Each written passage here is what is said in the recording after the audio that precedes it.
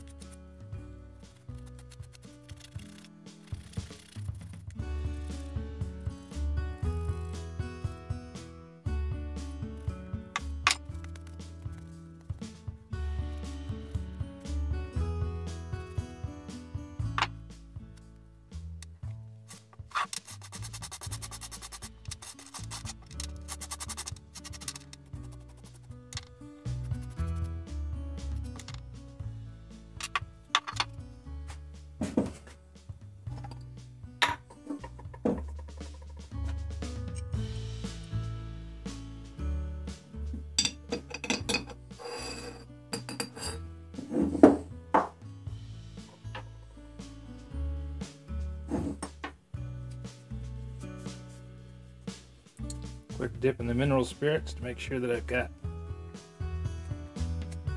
the oxygen blocked so it doesn't flash rust on me.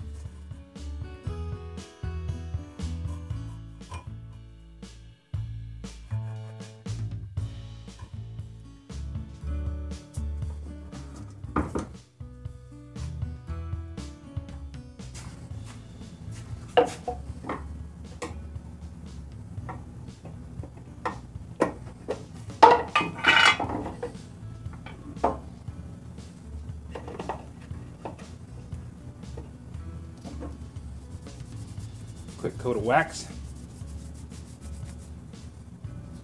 Keep it from rusting.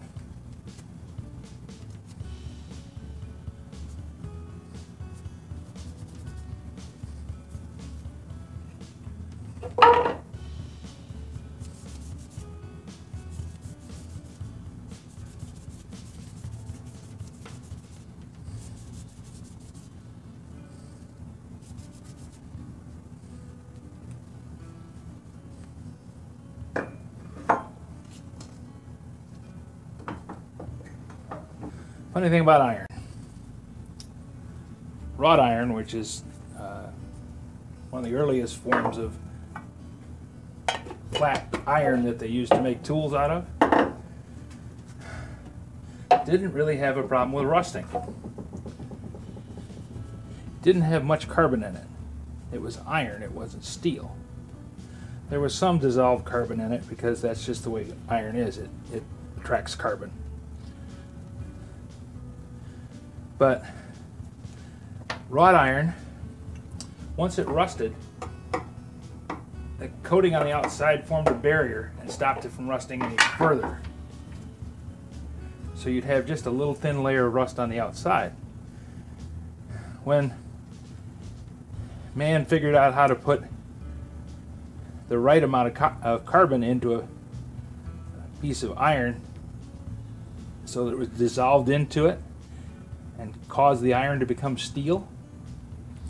The presence of the carbon in the steel made it so that iron, instead of just rusting now, the steel would actually continue to rust on past the surface.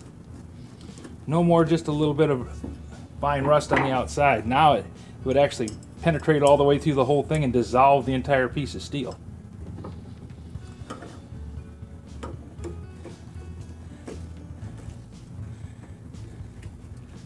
Cast iron will do the same thing. Cast iron will rot completely away.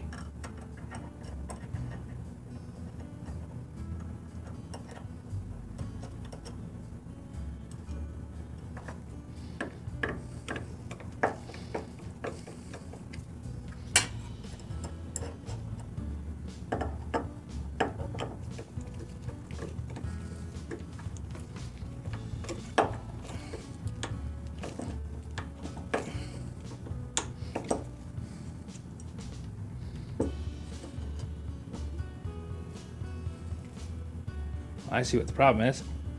I've got the cutter in there wrong.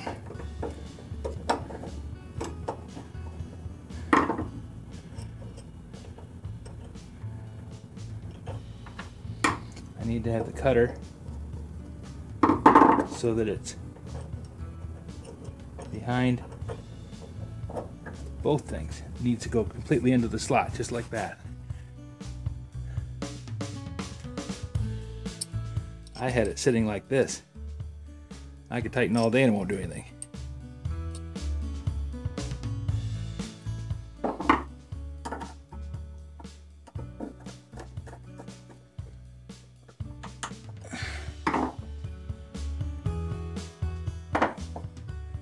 This is an Irwin number 2, and this is an Irwin number 22.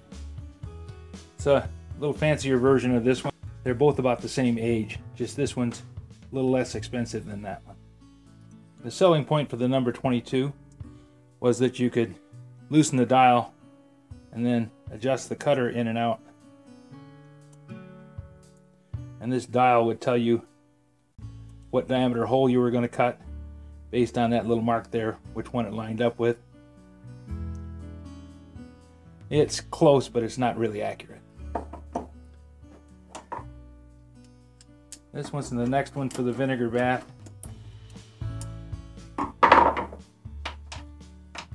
No need to put screw in. Put the cutter and the shank.